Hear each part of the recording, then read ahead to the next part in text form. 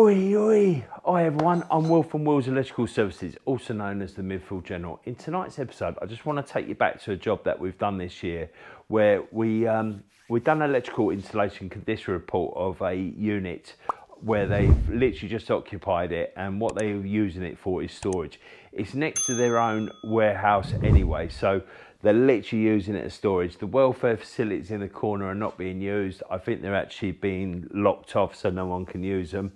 And what they asked us to do is, after the condition report, we found there was loads of problems with the main warehouse lighting. There was, it was a bit of cannibalised of loads of other different systems. Basically, what the original one was, it was PVC white conduit going all the way through, and where the thermal effect of the heat from being so far far up has buckled all the conduit and all that. And plus, and all where it was an MOT centre before, loads of cars have hit it. There's thermal, there's scorch marks and all that. And I actually got a call from the customer asking, "Will, can you?" can you alter a few of the lights and all that? And I said, look, mate, it, to be honest, it's beyond repair. I don't want to get involved unless it's uh, redoing it. And he said, yeah, that's fine. In their own warehouse, they, they have actually got a similar one. I don't think they've got the Collingwood high bay UFOs like we've put on this job, but we've what we thought we would do eight Collingwood UFO light fittings via FP200 and using click plugs as standard because that's what we use in maintenance. And I'll show you when I bring you in, I'll show you what I mean by that. And what we done was, is we done two rows of cable tray. We strategically placed them right next to the girders. So the forklift, if anything the forklift would be protected by the girder because it either hit the roof or the girder before it could actually get to the tray.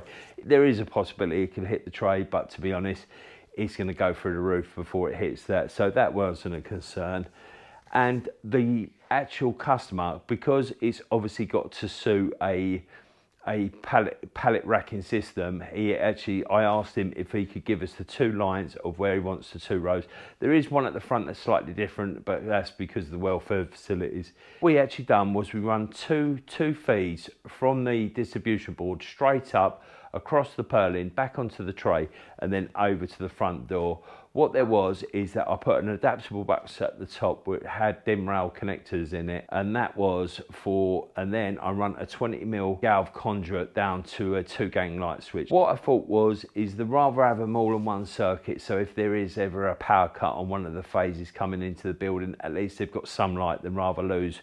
Oh, it was only they're only 150 watts um, by LED light fitting, so they're not going to draw any power. So what I done was is I went onto my Mega app, I typed it in there. It's a bit of a weird one really because I'll show you it on the screen. It's just that for some reason when you put the FP in there and you look for the cable references, reference uh, reference number E for in on cable tray or in thin air doesn't come up, but the reference member C, C seems to come up twice. So I took it as the second one, even though I'm just showing this as a demonstration. I know that six, you know, is going to be fine. And because I had two, because it said the length of the run, I had 200 meters of FP200, so I just put 100 down, and that's what I put. That's how I come to that conclusion.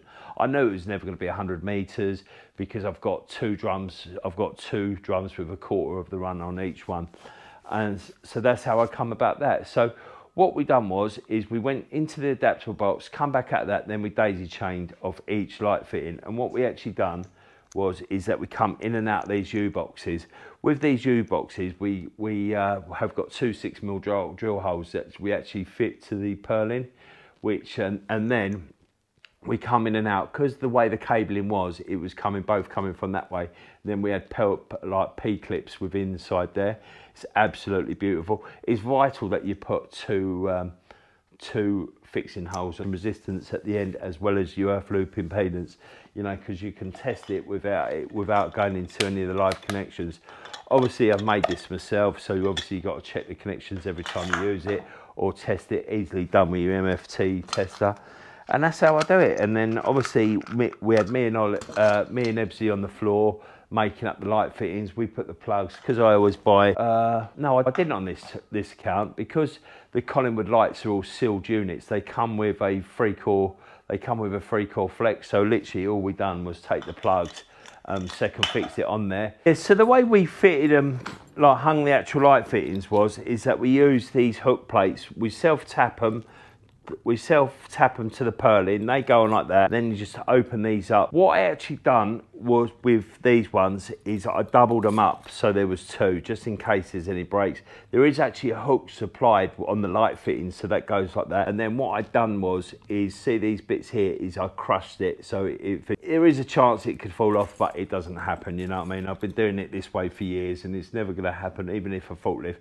Anything's possible with that but obviously the cable will hold it Plus, I always tie wrap it as well.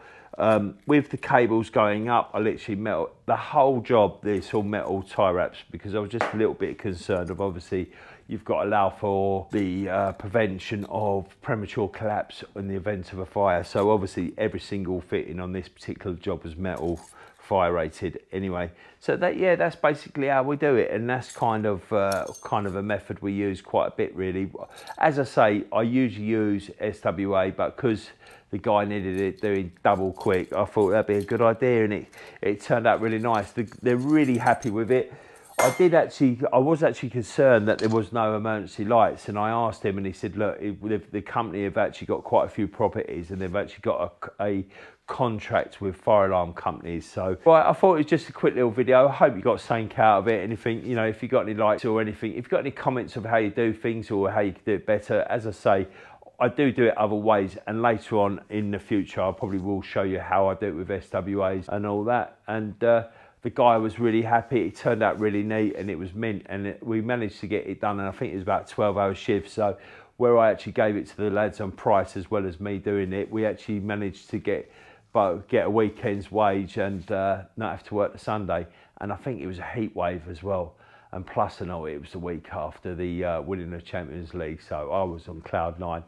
Anyway, I hope you all have the most beautiful week. And if you're going to be anything, be electric up the old blues. Oi, oi, oi, oi, oi.